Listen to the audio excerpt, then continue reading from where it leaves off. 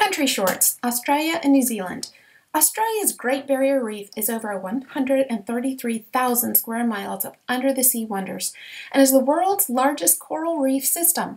It has hundreds of islands and beaches and some pretty amazing coral and sea creatures. This is the butterfly fish. Whitehaven Beach is at the heart of the Great Barrier Reef and is considered to be one of the most beautiful beaches in the world. On land, Uluru, also known as Ayers Rock, is a large sandstone rock rising from the earth in the Australian outback. It is sacred to the local Aboriginal tribes. Did you know the Alps are in New Zealand too?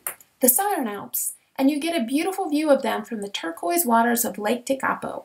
Here's another view of the lake, this time with purple and pink lupins blooming. So much color to soothe the soul.